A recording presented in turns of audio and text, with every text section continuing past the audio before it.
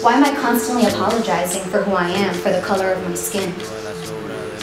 How is my story not an American story?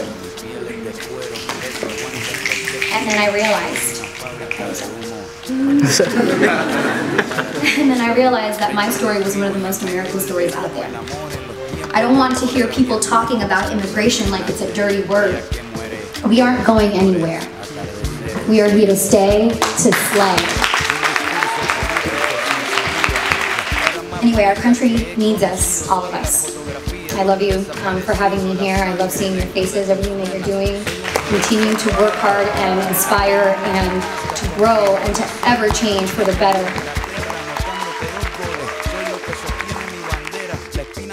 Del planeta en mi cordillera. Soy lo que me enseñó mi padre. El que no quiere a su patria no quiere a su madre.